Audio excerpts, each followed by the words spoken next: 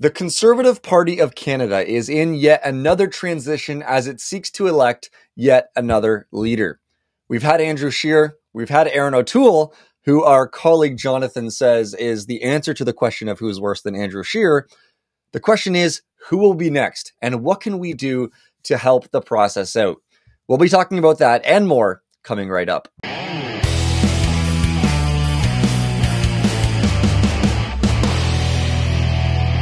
Hello, everyone, and welcome back to the Pro Life Guys podcast. My name is Peter, host of the show, and with me again is my good friend and wonderful co host, Cameron. How are you, sir? I'm doing very well, thanks. How are you?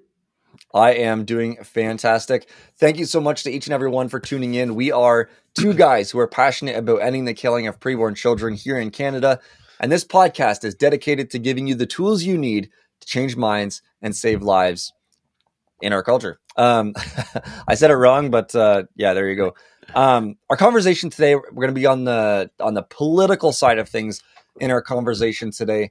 Um, still a, a, very key way for us as Canadian pro lifers to be engaged to to, to work towards um, defending and protecting preborn children. We often talk about what we can do in the streets.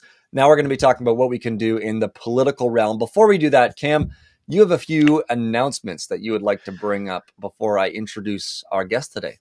Sure do. Two quick things. One, I mentioned last week, um, I am running a three week um, apologetics course that is going to be a, a, focus on some of the most common arguments that we hear.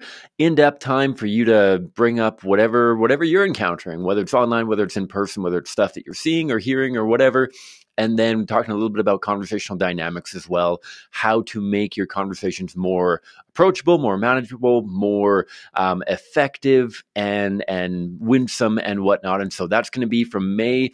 Uh, let me pull up my calendar again. I had it memorized, but I've gone and forgotten it now. So it is May 28th until June 11th, three times, three sessions. Sign up on our website, prolifeguys.com. Second thing is that we are scheduling our next quarterly roundtable. We got a ton of really good feedback from the last one. The focus that we're having for this upcoming roundtable is the history of Canada's pro life movement. There's a lot of interest in where we've come from and how that's shaping where we're going. And so we're going to have a couple legends of the pro life movement come in. We've featured a few of them on the show already. Um, but definitely sign up to be a Patreon supporter if you want to have an invite to that. Go to patreon.com slash pro-life guys. Again, you can find a link through our website too. But those are two on my end, Peter. Awesome. With that, I'll introduce the guests that we have on today. Scott Hayward and Alissa Golob are the founders of Right Now, an organization that exists to nominate and elect pro-life pol- politicians by mobilizing Canadians on the ground level to vote at local nomination meetings and provide training to volunteers across the country to create effective campaign teams in every riding across Canada. They are busy right now with the election coming up of the Conservative Party of Canada as we seek a new leader who will uh, run against Justin Trudeau, who we all know but don't love. And so this is our conversation with Scott Hayward and Alissa Golob.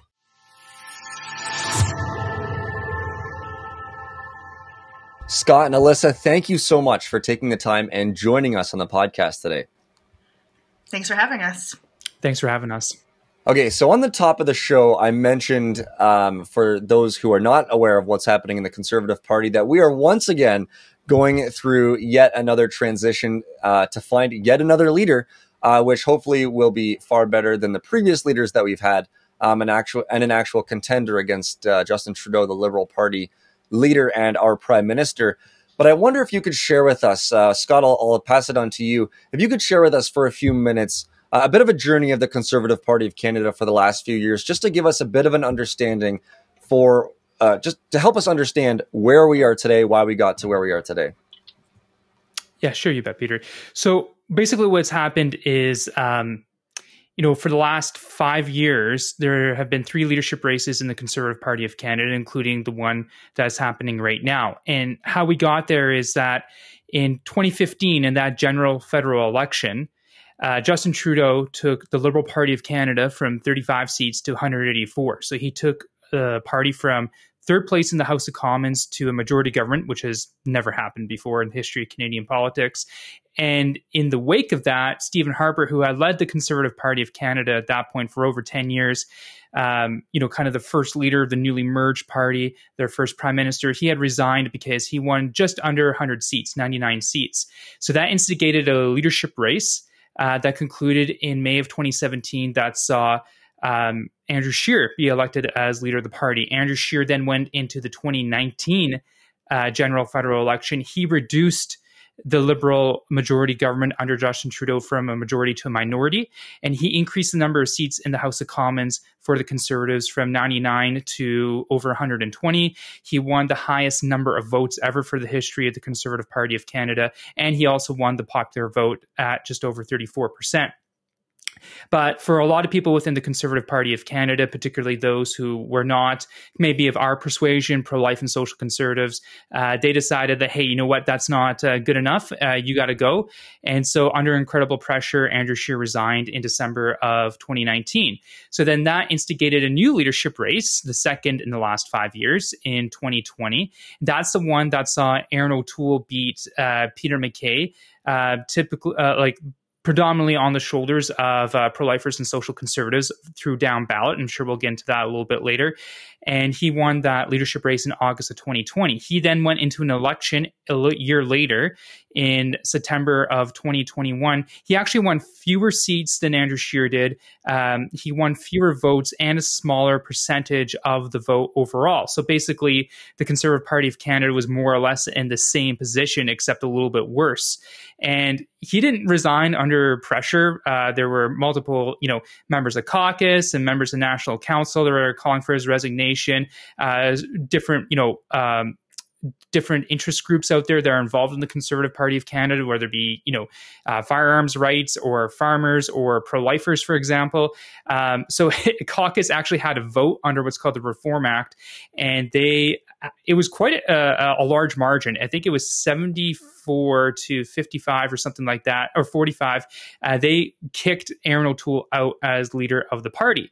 So that happened in uh, February of this year of 2022 and now there's a new leadership race that we're in today. So this is the third leadership race in uh, the last five years. There are a number of candidates who have declared. Uh, there's only one candidate that has met all the thresholds to actually be on the ballot. I'm sure there'll be obviously more than one. And so that is where we are today Love it. Thank you, sir. And, and Alissa, I want to throw to you. So I, um, I'm sure both of you guys are, are super politically minded. You're going to hate me for saying this, but I remember when I turned 18, I, I think it was when I turned 18, I was looking forward to voting. And in the span of like one year, I feel like I voted in two municipal elections and a provincial election and a federal election. Like voter fatigue set in. It was like, I'll be fine never voting again. This, this was such a hassle, waiting in lines, all this kind of stuff. And I'm sure that, like you said, there's three leadership elections in five years there might be some kind of voter fatigue of like, do we really need to go through this again? Is it worth it? Whatever. Alissa, why would you say like would you say that this is a really important thing to get involved, or is this just like you guys get involved in every leadership election? If it's really important, why is this one in particular really important? Why should pro lifers not be the ones, if anyone, getting fatigued by this whole leadership rigmarole, but rather invigorated and excited about this upcoming leadership nomination?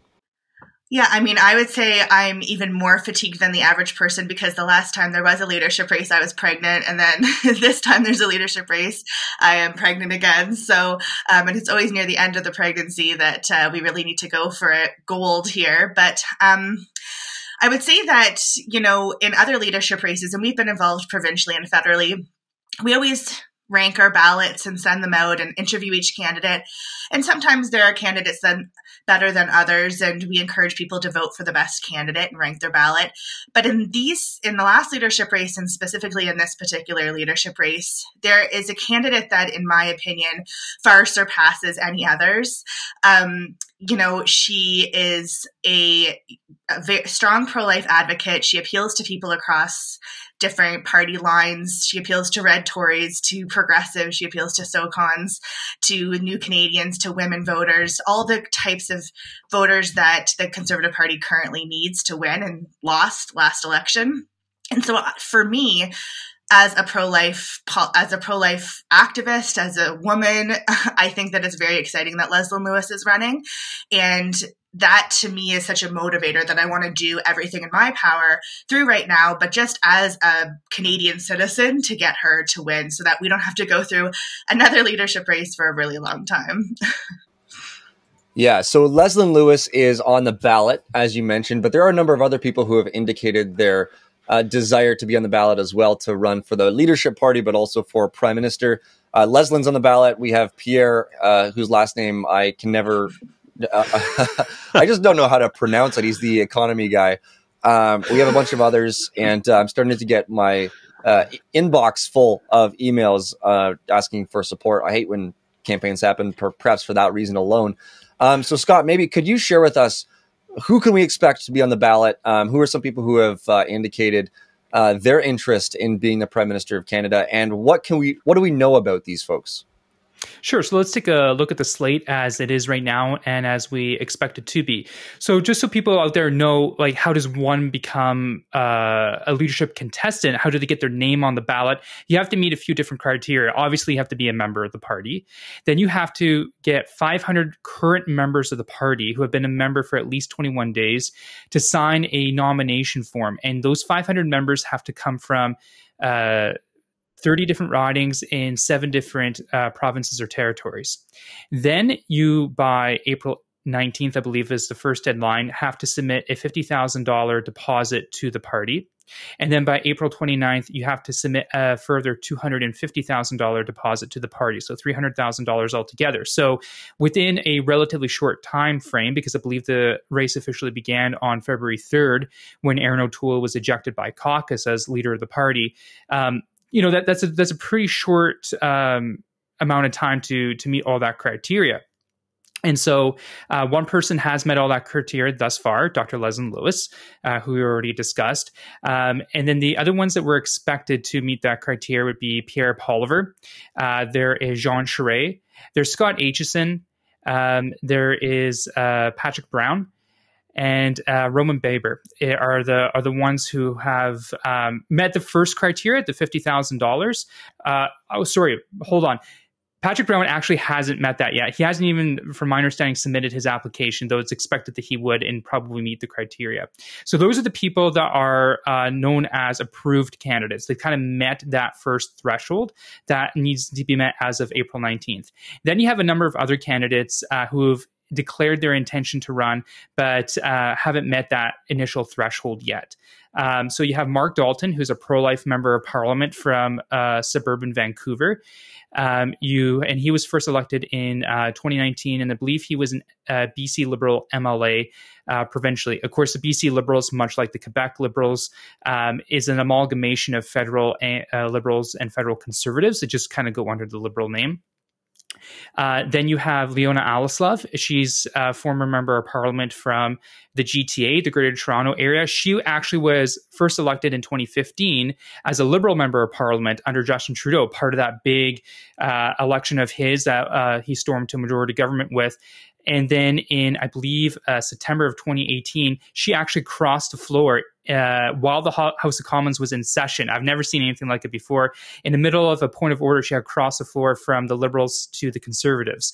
Um, and then you have a, a few other kind candidates. You have Joseph Bourgault, uh, who's a uh, pro life anti vaccine mandate candidate from Saskatchewan.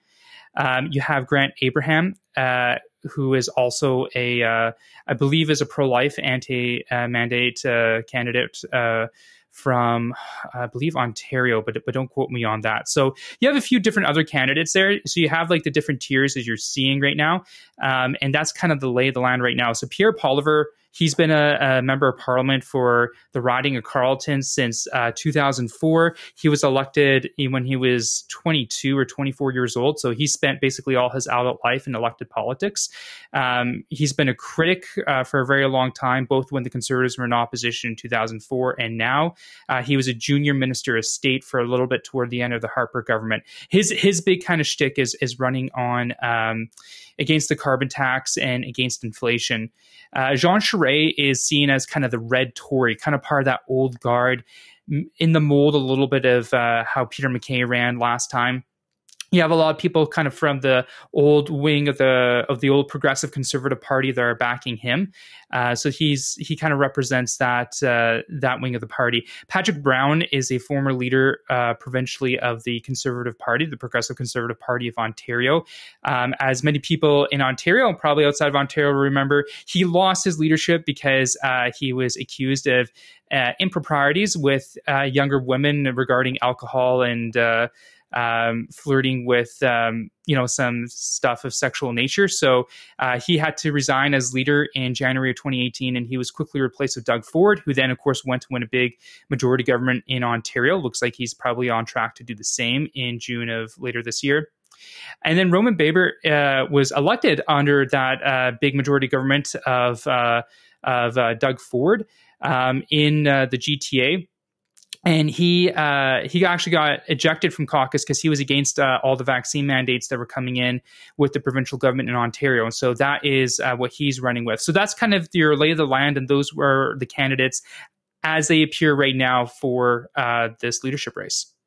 Love it. Thank you, Scott. And and I, I want to get both of your takes on this, but I'm going to throw it to you first, Alissa. That um, so and, and we'll talk about the ranked ballot in a moment, and, and we can spend a little bit of time possibly of, as to these other candidates that you mentioned, Scott. But Alissa, obviously, you mentioned um, the absolute winner that Leslyn Lewis is, Dr. Leslyn Lewis, and I'd love to get let, let's dive a little bit deeper into why we should be fired up about her because I feel like there, there's probably sentiment that unfortunately you guys run into all the time that would simply liken her to an Andrew Scheer of like, you know what? Sure, privately she might share all of my beliefs, but she's probably going to turn out to be a wet noodle and not actually help us at all. Why should we care? Um, Pierre Poilievre is actually going to make something happen on the the carbon tax, whatever what gets you fired up, Alissa? We'll start with you and then I'll throw it over to Scott afterwards. But what gets you fired up about Leslyn and why is this somebody that we can have more confidence in than maybe an Andrew Scheer?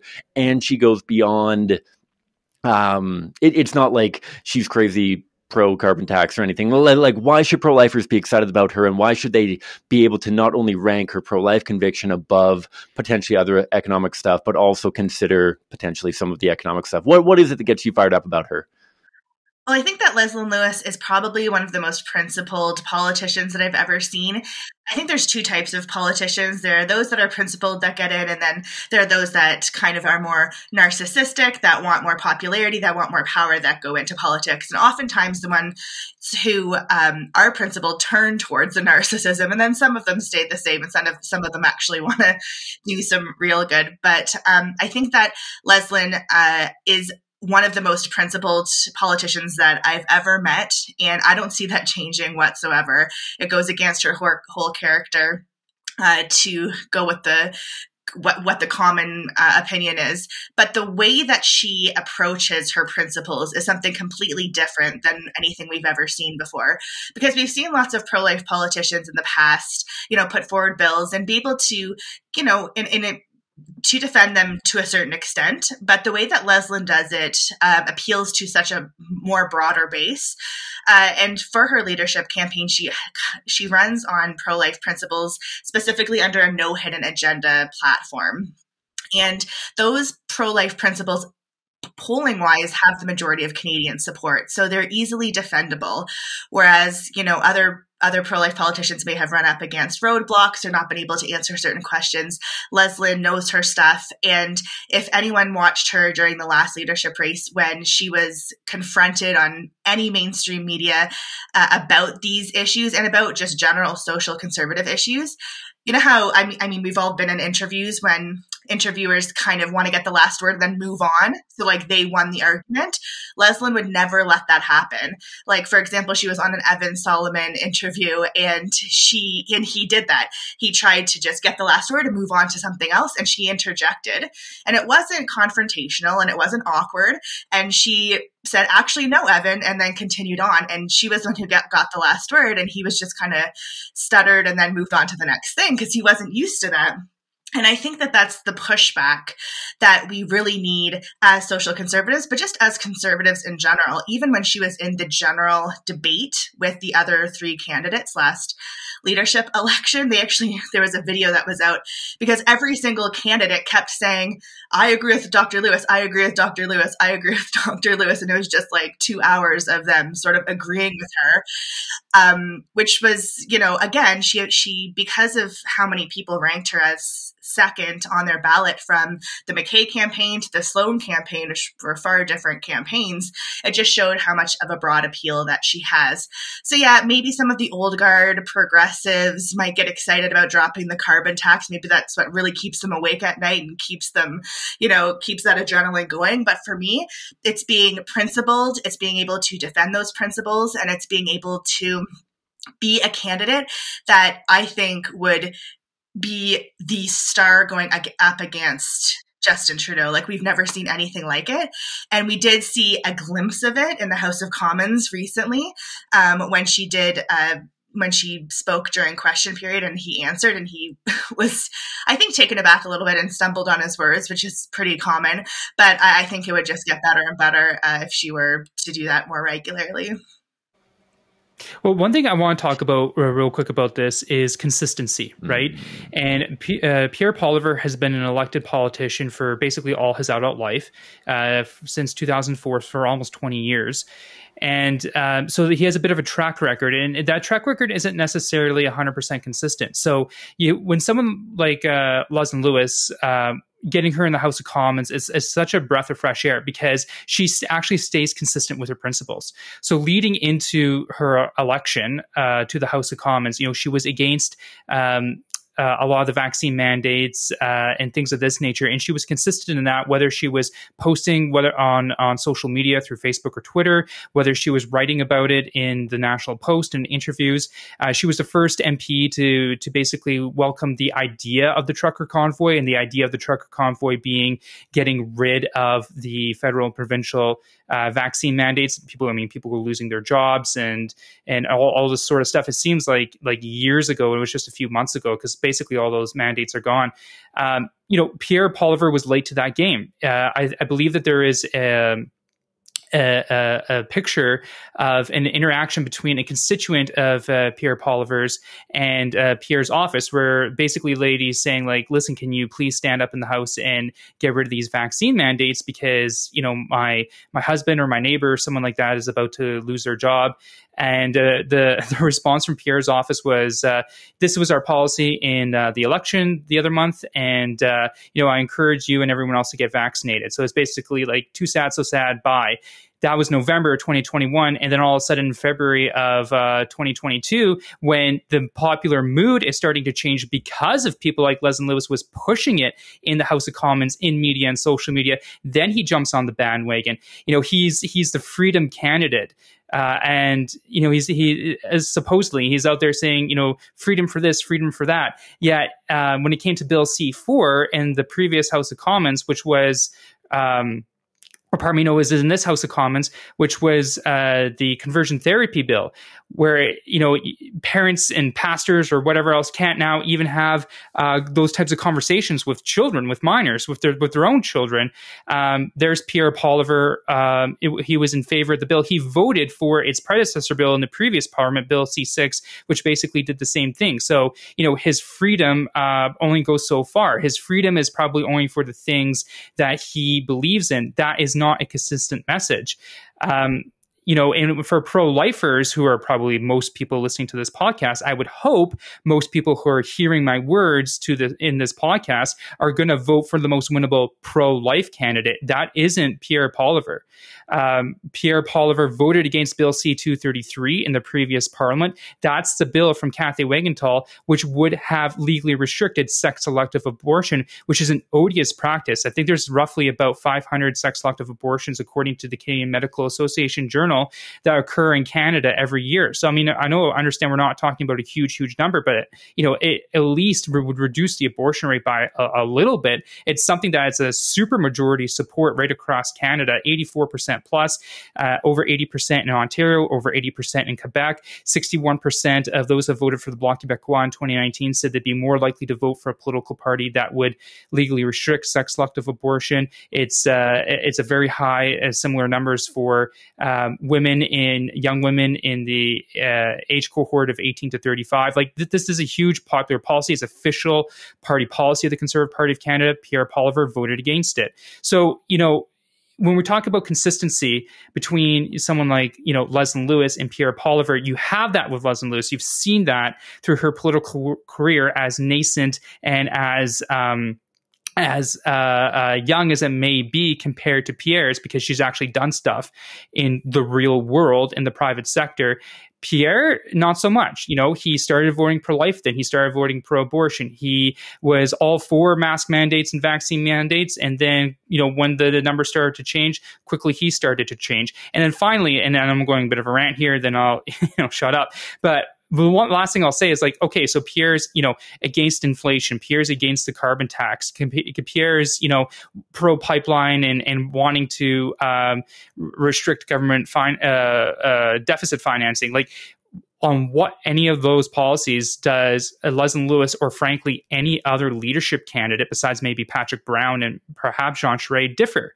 Like you're going to get the same thing with Leslyn Lewis on all those points as you were with Pierre Poilievre. I have a whole other thing about inflation too, and we can get to that later.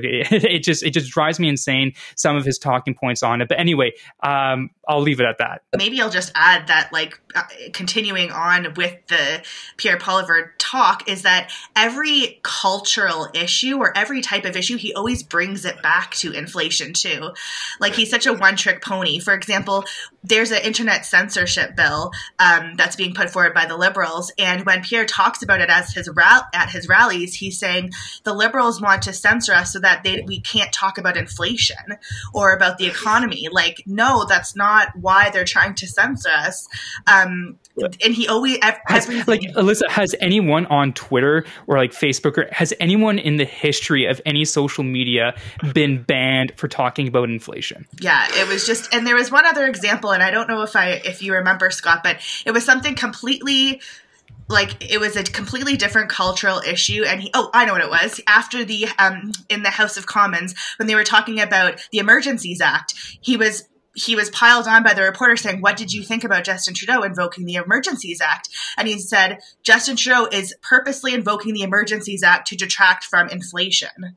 Like, no, that's not why he's invoking the Emergencies Act. So everything, it's like his his one issue that he knows everything about, but he brings every other issue back to it and he cannot properly voice any type of proper argument in favor or against certain policies without bringing it back to inflation. And i find that so turn off. I just i just have to have one last thing and then i promise this is it and then we'll stop commandeering this. I just have to talk about this inflation thing because um, some of your uh, listeners may or may not know um, before I got involved in full time pro life politics, uh, I was in public. Uh, I was in public practice as a chartered professional accountant. That's my designation. That's that's my background. And in order to get that designation, I had to get a bachelor of business administration degree. Part of that degree, my minor was in economics. So like, I'm not an economist. That's not my major, but like, I speak with it with at least a little bit of knowledge the quickest way to fight inflation, and this is not popular, which is why you'll never hear it from Pierre Poilievre. Basically, the quickest and almost the only way to like seriously reduce inflation is to raise interest rates. And the reason why politicians don't want to talk about that is A, because in this country, that is monetary policy. So it belongs to the Bank of Canada, which has a contract with the federal government. You're not supposed to touch that legally. And B, by raising interest rates, you're raising obviously the rates of mortgage mortgages. Uh, and a lot of people are, are, basically living paycheck to paycheck who've just purchased more uh, houses, especially in places like Metro Vancouver and uh, the GTA, the Greater Toronto area. So when he goes on talks about inflation, uh, he never actually talks about like basically the one and only solution to inflation, which is to raise interest rates. And it's something that, like, with my very limited knowledge, granted, but at least a little bit of it from my educational background, just drives me up the bloody wall. It is just so shallow Scott, I have to I have to say, um, don't promise the audience that you're gonna you're shut your mouth because uh, we love when you jump in. We love the contributions you give. So, um, but I think this is really helpful to talk about Pierre. I know there are a lot of people in my circles uh, that I interact with, and I know others uh, interact with something similar. Um, people who look at Pierre and think this is our guy. Um, he's strong on the uh, economic issues. He's strong on finances. He's strong on inflation. Um, he's strong on you know all of these these sort of freedom related issues as well. And um, you know, pro life stuff is is important, but if we don't have someone like Pierre in, then we might not have the freedom to talk about pro life issues. That's sort of the justification and the theory. So I think, uh, not I think, uh, I I believe it. I know that the things that you just shared are are particularly important for us to understand this leadership race, putting Pierre side by side with Leslyn and seeing how on yeah, a lot of these issues, consistency is key, but also Leslyn uh, will do the same thing that Pierre is promising to do, but we'll do far more things for social conservatives, like the issues on you know abortion and and uh, Bill C four cha- challenges and problems that just came up as well. So thank you so much for that. Um, I'd like to to sort of divert to where we can go as social conservatives, just regular folks um, seeking to do something for the Conservative Party. We have some sort of FAQs later on as well um, for those who identify as conservative but are not uh, very keen on the Conservative Party of Canada, which um, isn't that all of us? Yeah, that's right. It, that's right. Yeah. Um, Thank you, Erin O'Toole. Yeah. So, what needs to happen now? We well, maybe not now, but once we see a ballot, um, and, and uh, once we sort of have a date set, maybe there's a date set, but for uh, electing the leader of the Conservative Party. What are some of the steps for us as conservatives? What can we do to help out? Um, I mean, where do we, where do, where does someone like me fit into this picture? Well, I will say that the different candidates have different strategies, and I was kind of thinking about this and writing about this this morning because Pierre's strategy is very much an online strategy. It's to do these events, to post these massive pictures with massive people, um, and and to get his picture out there, to get YouTube videos out there, to get you know all these quick talking points, these quick videos out there. And I'm not going to say whether it's effective or ineffective, but that's his strategy. His strategy seems to be less about signing up new members, more about really pitching himself to the current membership base and just taking it over, winning the leadership that way through a, more of an online campaign. And then we have other candidates uh, like Leslyn who are focusing on membership sales and bringing new members into the party. And then you see pictures of Patrick Brown, and Patrick Brown has always done a good job of getting into the ethnic communities. You know, they called Jason Kenney Curry in a hurry because he would always go to all these different ethnic commu- ethnic communities, and they loved him. And he was able to, um, you know, voice his, the conservative principles that way. Patrick Brown is very similar to that. Um, so focusing in certain areas of the GTA because he's a mayor of Brampton and getting into those communities. So, but the, the the one kind of thing that I hear all the time is like, what's the point of even getting involved or buying a membership because like Pierre's taking off with it. So like, you know, I, I could do this, but it looks like he's going to win. But that's their strategy. Their strategy is to make it look like it's going to be this coronation. He has this crazy amount of support. and No one can touch him. But numbers speak you, you know what it is, Alissa? You know what it is? It's a shock and awe campaign. Yeah. And and um, you know, I'm I'm a little bit in awe of it, but I'm not at all that shocked about mm-hmm. it. Yeah, exactly. And it, and it is working because he's trying to promote himself like, look, I have an arena full of people. Why would like no one else is going to come close to touching me in the leadership race? So, um, and and people are starting to think that way. So the the message that I think we want to portray here is that membership sales do play a big part in it. And so just because P- Pierre may be uh, a favored candidate right now with the current membership doesn't mean that he's automatically going to win the mem- the leadership race. You know, the candidates that sign up new members that get those members out to vote are, are ultimately the ones that are going to win and the the leadership race isn't until September. Like that's a, a, few months away, so a lot can happen during that time. But right now, until June third, we have to sign up as many members as humanly possible, um, and that's just conservatives that want to see a fresh new perspective, a different leader, not somebody who is a clone of the other three, uh, which would be Leslyn Lewis, or, or just social a social conservative in general.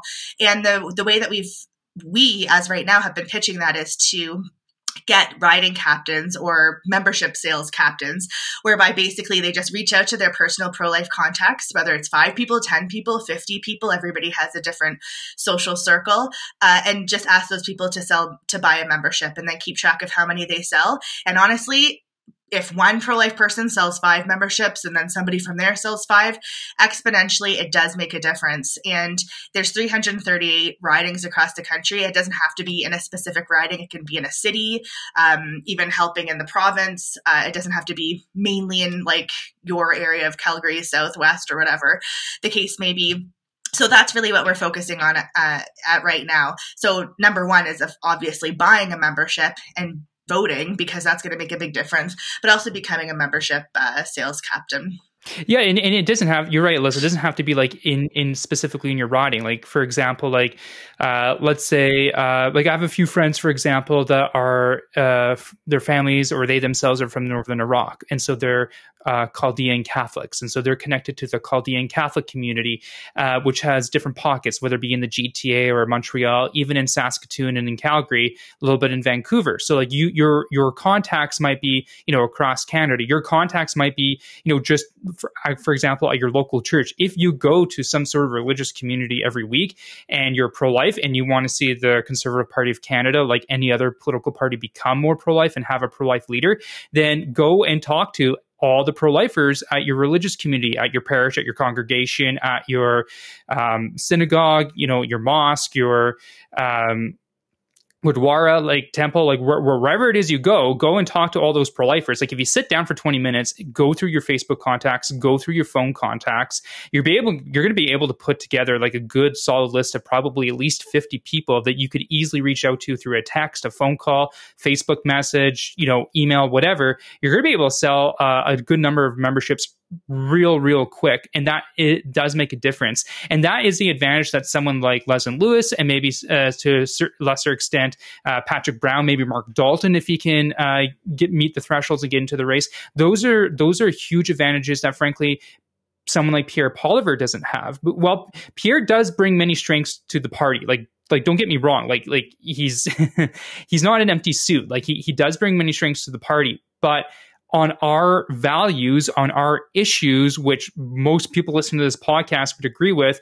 He doesn't, he, he's not an ally on those issues. He's not going to do anything for us. He's going to be another clone of uh, Harper, which basically saw nothing get accomplished besides uh, temporarily uh, defunding abortion overseas. So, you know, you you can make a difference. This is kind of the sleeping giant of this leadership race, and just one last thing on this regarding like, you know, oh, you know, what's the point if, if it's a juggernaut? Well, a lot of people thought that last time with Peter MacKay when he first entered the leadership race in January of 2020.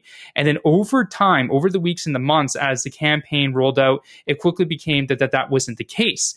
Um, and then I remember last time a lot of people thought like, oh, you know, Leslyn Lewis, she's a nobody candidate. Yeah, she's great and shares my values or whatever. She's not ready. She doesn't speak French. She doesn't this. She doesn't that. And then lo and behold, when the votes actually came in, um, I think she out of like 170 whatever thousand votes cast, according to my calculations, she was just over 8,000 votes shy in specific ridings and 149 specific ridings across the country from getting enough points to be on that final ballot. And having been in the room myself, the counting room for like the 16 hours that we were there, I can tell you that of all those ballots I saw that had to be recreated that had either Erin one or Peter one, there was a lot more Leslyn two than either of those other two on those ballots, especially for the Peter ones from Atlantic, Canada. So she was like a whisker away from being on the final ballot. And I'm quite convinced mathematically that had she been on that final ballot, she would have won that uh, leadership race. So like this is a woman who who came into, for example, the 2015 election. Um, less than a month before election day because the candidate the running in that riding had to resign because there was a video of him taking a whiz into like a mug or something like that. Um, she had the second highest votes ever for conservative in that riding. And Diane really weird explanation. He was a contractor. he was a contractor who was building a house, and they on the house video they caught they caught him peeing in the household the house cup mug in the sink because the bathrooms weren't ready yet. You're you're being too generous providing that much context, Alissa. Just Um, so she, she she came she came in with less than 30 days left, had the highest number of vote, second highest number of votes ever for conservative in that riding. She then ran in Diane Finley's old riding of Haldimand Norfolk in uh, the last autumn, the autumn in 2021. She had the highest number of votes for any candidate ever in the history of that riding. Like this woman is the actual political juggernaut. Pierre Poilievre. No fault of his own per se, but Pierre Poilievre actually almost lost his seat in Carleton in the 2015 election. He came within a couple percentage points, 1,500 votes with, you know, 60,000 votes cast. That's not that big of a margin. So, um, w- when people are talking about like, oh, she doesn't really have a chance, she, she's not this, she's not that, I think that's all BS because looking at the numbers, which I'm big into, um, this, this, this particular candidate is a very, very winnable candidate. Love it. And I, I, I absolutely want to impress upon the entire audience that exact point that this is a very winnable candidate. This is actually going to turn into something. I mean, the the hype, and I feel like a lot of conservatives have forgotten about the hype around the last leadership um, kind of election, and that we're building on that. That yes, um, Pierre Poilievre might have a lot of support coming up now, but Leslie's done this already. She's got a very good team put together, all that kind of thing, um, and this is something that you don't have to be a crazy big politico to go into. I, I, know that I've shared on the on the program not only today, but like in the past that, that I'm not super keen on getting more phone calls from the Conservative Party of Canada. I'm not super keen on getting more emails and all that kind of stuff. But like straight up, let, us think about what is at stake here and the minor inconvenience about getting an extra fundraising phone call that you're probably going to ignore anyways versus having a candidate that might actually move the needle on some of these important social things. Like this is actually an opportunity. And I know that there's been a lot of disenchantment. Um, and maybe, maybe it makes sense at some point to talk about how you guys keep hopeful in the pro life movement after so much disappointment. But like this is something that that should actually inspire hope. And and yet I want to pivot into a bit of one of those kind of FAQ sort of things. I'm sure that you guys have gotten a lot of it in the last kind of several years since the People's Party of Canada has come out. I'm sure that you've been getting it with regards to the Christian Heritage Party and whatnot. This idea that like I don't even support the Conservative Party of Canada. Why should I buy a membership for a party that I'm probably not even going to vote for in the general election. Maybe you've got a rock solid CHP candidate. Maybe you've got a um, whatever a, a, friend, or or maybe you run in the PPC party or whatever. I don't, I don't know, but like, why? Even strategically, even if we're not right now trying to win people over towards the merits of the the Conservative Party versus the CHP or or People's Party of Canada, or whatever kind of thing, like you can take on a membership in this party and vote in this leadership and not actually vote for a cons- conservative candidate, right? Like I'm not crazy thinking that. Is that true? That's that's that's what happened to both Alissa and I. Mm-hmm. Like I, I'm a member of the Conservative Party of Canada. Um, for a member a, a, while there, I think I was even a, a, not a member but a supporter of the Liberal Party of Canada too, in case there was a leadership race happening yeah. there. But the, the, fact of the matter is, is that there isn't a leadership race happening right now within the People's Party of Canada. I don't know if there ever will be. Um, there's not a leadership race within the Christian Heritage Party. There's not a leadership race in the NDP. There's not a leadership race in the Liberal Party of Canada, although those two seem to be now the same thing with their confidence supply agreement. But there is a leadership race happening within the Conservative Party of Canada. The Conservative Party of Canada won the highest number of votes in the last two elections. It has the second highest number of seats. It's the most likely to form a government, mathematically speaking, uh, should uh, there be an election anytime in the next well, I guess not until the next three years. So, um, you know, for me, like I, I voted in the leadership race last time, uh, having voted for uh, Leslyn, of course, and, and then Derek. Um, and in my riding where I live, where my wife and I live, we didn't have a pro life conservative candidate. So, given that there was no pro life conservative candidate, I voted for the most winnable pro life candidate, even though like they were polling at 2%, and that's basically what they got, which was PPC. And Alissa, I mean, I don't, I don't, want to speak for you, but that was you had a similar experience for yourself, did you not? Yeah, I mean, my my my uh, conservative candidate here in Calgary is such a dud. Been in forever, doesn't do anything, just sits around, votes the wrong way. Uh, never hear a peep from him except when you're fundraising. I too hate the fundraising calls. Just a tip for anyone listening: if they call you, you can just ask them to put you on the do not call list, and they won't bug you again. but if but if you ignore them over and over, they'll like incessantly call you. Like they won't yes. stop. Like but never. but never do that. Never do that for calls from CCBR and right now. Yeah. only for only from political parties. yeah, exactly. Um, so yeah, I definitely voted PPC. I made that pretty public. Um, and I have no regrets doing that. Uh, I will get involved though if there's a nomination race in conservative for the conservative party. It's a very it's going to go conservative every time. So if I can be involved in the nomination race and get a better candidate in there, that's exactly what I'll do. And Canada is not like the U.S. Like in the U.S., you can directly vote for who the president is going to be. Here, the only way that we have any say as to who the prime minister is going to be is specifically and purely through leadership races.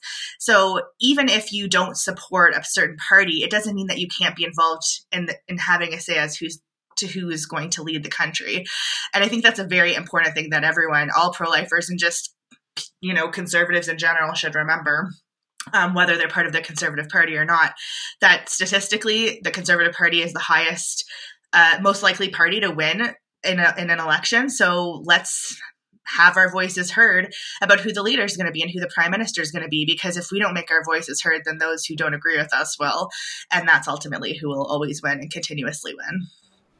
You know, our, our friend uh, Faytene Grasseschi from um, For My Canada, she brings up a really good point um, in her presentation that she's using for the leadership race um, that's happening right now. And she says that, you know, if you look at uh, Justin Trudeau, when he was elected as leader of the Liberal Party back in uh, 2013, which is almost 10 years ago, the amount of Canadians that participated in that leadership race compared to as a proportion of the amount of Canadians overall is something like 0.2%.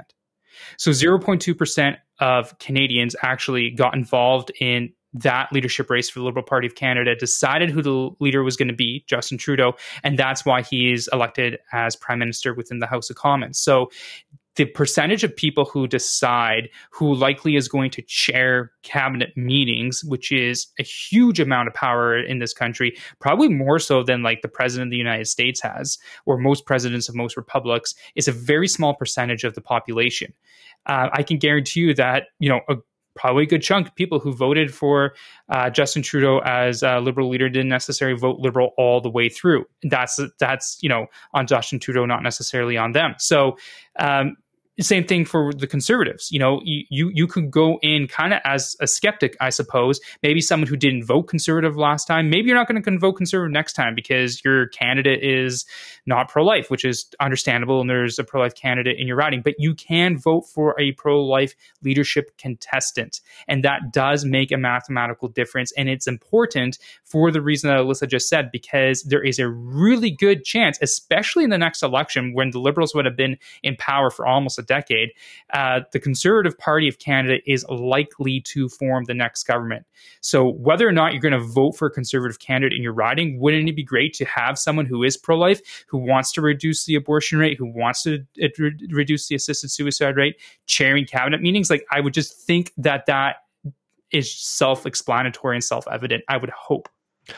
Absolutely. I, I, know that we're we're starting to wrap up here, and I know I'm sure that I'm cracking open a can of worms right now uh, with the Jason Kenney question. But I, I want to ask, like, when it comes to engaging with Leslyn Lewis, like, like I'm sure there's a million reasons why Jason Kenney has been so disappointing in Alberta. Um, let's not super get into that necessarily. I'm sure we can talk about that after we're done the recording. But um, I've, uh, where where is the role in pro lifers actually showing up to her events, actually engaging with her, talking to her, um, donating towards her campaign, all that kind of stuff, getting involved actively, and not just like a passive. Okay, I'm I'm gonna I'm going to put Leslyn Lewis on the top of my ballot. Okay, you guys won me over, but I'm not going to bother showing up to anything. I'm not going to bother um, sharing any of her content or anything like that. I'm not going to bother engaging at all because she's already got my vote. Where's the value in pro lifers actually engaging with these kind of candidates so that they stay true to their values, so that we make it as easy as possible for them to be able to point towards a massive base of social conservatives and not a bunch of people that that think that um, Leslyn Lewis is going to single handedly overhaul this entire nation and turn it back into a, a Christian theocracy sort of thing. Like, how do we make sure that, that she has the support that she needs in a very real way with, with who is showing up and who's in her ear and all that kind of stuff? Um, what do we need to do on that front? Yeah, I mean, it, it's interesting the Jason Kenney connection because I think he was actually instrumental in finding uh, Leslyn Lewis and encouraging her to join uh, politics in general, um, and has always been very encouraging of her, which I'm thankful for. Um, but I mean, both Jason and Leslyn are very uh, personally pro life. How they go about it is uh, very different. Um, but I will say that both are, you know, I think that Jason Kenney still has more kind of pro life policies and pro life sentiments in his speeches and stuff than any other premier in Canada. So although we expect more from him because we know that he's pro life and Catholic and all these things, he still is doing more than anybody else is doing. Um, I will say that but so I think just nurturing what's already there. Um, and, uh, you know, with, with Leslyn, she does have these policies. She does say that what, what she's going to do with the no hidden agenda. Um, but it's always good to, to keep communication, to keep a, to build a relationship. So the best thing that people can do right now is to go to their campaign events, to go to Leslyn's campaign events to show support, um, and to encourage others who might kind of be on the fence about the Conservative Party or Leslyn or all of the above, and go to the go to the event, see what she has to say, and uh, and then if she does get elected, to just you know a big thing too is an encouragement. Like when these when Jason Kenney talks about the unborn baby in his throne speech, to write to him and say thank you for doing that. Thank you for putting forward this adoption policy. Like i, I support you because if all he ever hears from social conservatives is you suck. You don't do enough. Babies are dying. You're responsible. Like it's not going to do much for him politically. Um, but he you know i so so i think developing and building these relationships with these politicians especially the ones who are very open about doing that is the best way uh, to to ensure that they keep their word. But again you know with Erin O'Toole and, and other conservatives who have talked about putting forward pro life policy, they weren't personally pro life. They didn't really have an investment, a personal investment. The other poli- these other two politicians do. Um, and also, lastly, the best other way to um, encourage these pro life politicians or leaders in, is to elect more pro life politicians because the greater the pro life caucus is, the greater the influence that they have, the more likely they'll become cabinet ministers and oversee different public policies that way. So, um, getting involved in the nomination and election process is key after the leadership race as well. All right, I have one final question, and I know it's an impossible question, but we do want to see how good you are at foreseeing the future. Um, I'll start with you, Scott, then on to you, Alissa. What are your predictions for the Conservative Party uh, race for the leader leadership. Like final outcome. Final outcome. I think uh, on the current trajectory. So this is going to be a long answer. Sorry, it's just the way it is. Um, I think on the current trajectory, uh, this is this is Pierre's to lose and I, I, think there there is a potentiality that that could happen. Uh, mostly because uh, what Alissa said earlier, that he seems to be playing to the existing party base and that and, an existing party membership, and that might be the right play for him as of today. You know, Hamish Marshall and Jenny Byrne might be going through the numbers; they're not dumb people, and they might make the calculation that listen for the resources that we're we're gathering for the people that we have within our our campaign, it makes more sense, and we have a higher return on investment to get all current party members out to these events and to excite that base so that we just dominate that base and it doesn't really matter who who sells uh, memberships amongst the other leadership contestants uh, because we're going to have uh, you know 80% of existing members with which like 60% are going to come out and vote. The numbers are just too high. Um, and if the membership race doesn't or, or, within the leadership race, if the membership numbers don't increase by a good amount, like a like a really healthy amount, um, then uh, they're they're they're probably right. The risk of that is what if it does grow? What, what if Patrick Brown is out there quietly, which is probably the case, going to all these Gurdwaras, all these mosques, selling uh, memberships in suburban Montreal, Brampton, Surrey, Forest Lawn, um, and and getting you know deep into those ridings, into those 30, 40 ridings. What if Leslyn Lewis is going across the country, you know, having all these sales captains, membership sales captains in different churches and different ridings across the country, selling you know 5, 10, 15, 50, 100 memberships each over the next you know two months? It, it changes the name of the game and then the fact of the matter is that everyone gets all, all, the leadership contestants who are going to be on the ballot they get that list come June 3rd, which is the membership sales cutoff. So everyone can talk to everyone. And unlike the last two leadership races, uh, the amount of time between when the, the leadership contestants get that full membership list and when the ballots actually have to be submitted to the party to be counted is the longest amount of time ever in the history of the party. So you have a very long persuasion period. So, my prediction, given what I know about the different campaigns, what my friends in the different campaigns are telling me, is I do believe that uh, Pierre will come out on top on the first ballot. You'll have Leslyn as a strong second that a lot of people in the media aren't quite picking up yet, but they probably will as time goes on. I think you'll have Patrick Brown as third, Jean Charest as fourth, and then I don't really know what happens after that. Uh, someone for like Roman Baber, like he really, really needs COVID to still be a thing in two months, and I just don't think it will be, especially if the federal government just lets the interprovincial uh, travel mandates um, kind of dissipate into the night.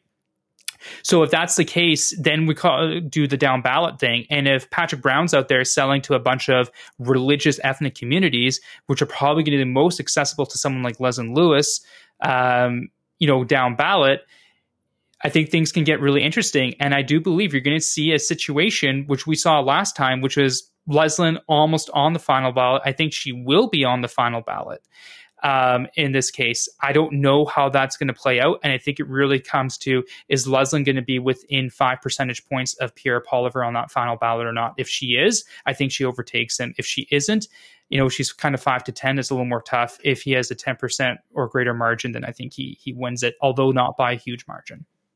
Sorry for the long winded answer to such a short, simple question. No, that is okay. Alissa, you're on the same page or where are you? Oh, no, I think Pierre will win it on the first ballot. I'm just kidding. um, yeah, that's what the they want you to believe. But uh, yeah, I definitely agree with Scott. I think um, there'll be a lot of other um, there'll be a lot of other things at play like is has her french improved? Um, will she be able to get more support in quebec? Um, I, I think that will be the case. Um, and also how many uh, candidates will end up being on the final ballot? Will it just be the four? Will there be like seven or 12 or whatever? Because that'll make a difference too but um, i do think that she'll be on the final ballot and uh, i think that it's not going to be the coronation or even the easy win that everyone's saying that it will be right now all right. Thank you so much for that. As I mentioned off the top, wait, you, wait, wait, whoa, whoa. What, what are your guys' predictions? That uh, I don't think I don't think you can just get away with that. Uh, it's easy to get. It's our show, so I mean. um, so I'll start Cam, and then and then you can uh, you can go after that. For someone who's not very invested, like I, I don't have put a lot of time investment into following the leadership race. Um, I would probably agree it'll be between Leslyn and Pierre. Um, really hoping that the things we talked about today are, are going to pick up certainly in our communities. Uh, you know, the sort of the social conservative communities that we inhabit. Um, but right now, I think Pierre is is on top. He's got the most sort of support and excitement uh, surrounding his campaign. Um, so if it happens today, I would go with him. Um. I hope it's tight with him and Pierre, with him and Leslyn. But my final guess is probably going to be Pierre. Cool. I, am going to be the the optimist here. On on I I honestly obviously I see that the Pierre's ahead right now, but I just based on the number of politicians that end up contacting CCBR, acknowledging that pro lifers are the hardest working political aides that are out there, I, I genuinely think that, that there's a, and, and, like this is very much obviously due to the work that you guys are doing it right now, right? Like we have politicians reaching out to us, asking us to lit drop for them or door knock for them or whatever, because they get that we actually care enough to be able to prioritize this in our schedules. Mm-hmm. And I genuinely think that there will be the the hardest workers in this political um, arena, this leadership race, are going to be the social conservatives because they see not only the opportunity that Leslyn presents, but also um, how bad things were with not only Stephen Harper, but more recently Erin O'Toole. And I think that that motivation is going to drive us a little bit more. The complacency from Pierre Poilievre. Um, I, I think it'd be very, very reasonable to think that Leslyn could pull this out, so long as people do actually step up to the plate. And I know that that's probably where we're all at, but I, I feel like I'm a little bit more optimistic just because I know a lot of the people, the seeing more and more familiar faces whenever I go out to these rallies that Leslyn or um, other folks are doing. I feel like there's a much better political network of social conservatives that have been cultivated because of the work of Right Now over the last five years or so. And because of that, I, I'm a little bit more optimistic, I suppose, and, and, maybe that's because I'm not quite as literate on the numbers of politics as the three of you are. But but I I genuinely think that based on the people involved and the volume of people involved, that that, that is going to make tremendous grounds over the next six months, I suppose. And I will say, like, people were caught completely off guard when Leslyn announced that she was the first candidate on the ballot. Like, she fundraised her three hundred thousand dollars, she got everything in, and Pierre announced at least a month before everyone. So maybe they didn't focus on it. Maybe they're focusing on other things. Whatever the case may be, Leslyn had the organizational skills and the financial support um, to get her her name first on on the ballot. And uh, it's really funny to go on Twitter and see the responses of kind of red Tories because they're like, "Oh, these social conservative." Fanatics. And yeah, I am a social conservative fanatic. Yeah, I'm going to donate and I'm going to support and I'm going to get Leslyn to where she needs to be. So, you know, you can call me whatever you like, but if that's going to get her ahead of uh, the other ones, then so be it. Perfect. Well, here's to Leslyn winning. Mm-hmm. Um, final question here. Uh, we mentioned off the top, you guys work for right now, doing a lot of work in, uh, well, every election that takes place, seeking to elect pro life legislators, pro life leaders. Um, how can people reach out to you? How can people get a hold of you? And, and uh, what sort of things can they expect in terms of communication um, on how they can get involved? Um, text message, email, where are we at? Hit it, Alissa. this is your bread and butter. Well, you can find us on uh, our website. It starts right now.ca. You can find us on Instagram, on Twitter, on Facebook slash right now HQ at H at right now HQ. Um, and yeah, we'd love to hear from you. We'd love to connect with you if you're interested in being a membership captain. Um, and just please buy a membership, regardless of whether you love the conservatives or hate the conservatives. Have a say. This is a pivotal time in in political history for the pro life movement, so don't let it go to waste. Are we are we not on the TikTok? Mm, the Just TikTok, love it. the TikTok. We have to we have to fix that. I don't know. Well, it's really funny. What are we paying you for? It's really funny because I hated TikTok. Are you? Are CCBR is on TikTok? Yeah. yeah. Yeah. When we when we all shut down, I started a TikTok account, but I tried to get out of that as quick as possible. So we have an account, but it hasn't been used in a while. Well, my my short TikTok story is that I didn't want to spend too much time on it for right now, but I was making personal videos on occasion, like of my baby or my dog or something, and it had like 10 views, like it was really lame. But then like the mandate stuff started happening and I was getting more impassioned about it, so I started making TikTok videos about it, and at least one, if not two of my videos have over a million views, and I have now 10,000 followers on TikTok. But now that the mandate stuff has sort of dropped, I'm like, where what am we going to talk about now? so, sell, the, sell the memberships. Yeah, I'm going to like try to convert them on the pro life thing because, uh, yeah, it, it'll be, uh, I'll go back to the pro life videos. But yeah, TikTok is uh, an interesting beast that I haven't yet fully conquered, but I know a lot of people are on it. So it's important pro lifers go where the people are, that's for sure. Yeah, Jagmeet Singh is on there. I don't know I if know. you've seen him, but he's yeah. pretty invested in reaching that that sort of group of people. I just have to say one thing. Uh, I had a video that went viral on TikTok, which was fantastic. So if our listeners want to find it, uh, and you're on TikTok, which um, is a waste of your time most likely, um, but if you're on TikTok, before you get rid of it, do go to end, at end the killing and find that viral video and uh, enjoy a good laugh. Um, Scott and Alissa, thank you so much for taking the time and joining us today. Thanks, Thanks for having, having us. us. That was Scott Hayward and Alissa Golob, founders of Right Now. We want you to check out their website. It uh, the, the website is itstartsrightnow.ca. It starts right now.ca to get involved in the work that they are doing, electing, um, in this case, Leslyn Lewis, who we are excited about. I know that they answered a lot of the questions I have, a lot of the questions that I've been posed with, and I hope we can. Uh, I hope you can say the same as well. That some of the questions you may have had about this leadership race have been touched on in this episode. If they haven't, uh, do let us know about that because we do want to have Scott and Alissa on closer to the date of uh, when the election is going to be happening. Um, so if there are more things that you're you're wondering about, concerned about, uh, not really sure about, you can send us an email uh, by filling out our contact form on our website, prolifeguys.com, or you can send us a message on any one of the apps that we use Facebook, Instagram, and Twitter. Just search the Pro Life Guys podcast, and you will most likely find us. Um, so send us a message there, and anything anything else as well. Any thoughts, any questions, any concerns, any suggested guests or suggested topics. that you would like, whatever it might be, feel free to reach out. Uh, we will get back to you at as soon as possible. One more reminder uh, as we wrap this up of the upcoming course that uh, that Cam will be running. Become an effective advocate. Learn how to engage with people on different sides of the issue um, when it comes to abortion uh, by signing up for this upcoming course and the upcoming roundtable that we talked about, focusing on the history of the pro life movement. And the guests are going to be talking about that as well. We had a fantastic roundtable last time where uh, our participants, those who joined, folks just like you, um, were able to ask questions of some of the leaders that we had on uh, at that point, and we want that format to be similar for the upcoming roundtable again. So you will have an opportunity to ask some questions, uh, share some thoughts, meet uh, a few of your pro life heroes. Hopefully, they're pro life heroes of yours. If they're not, uh, hopefully they will be after that roundtable. You can sign up by going to patreon.com slash pro life guys. It's a perk for our Patreon supporters. Thank you so much for tuning in. With that, we uh, we will wrap this up. We hope you tune in again next time.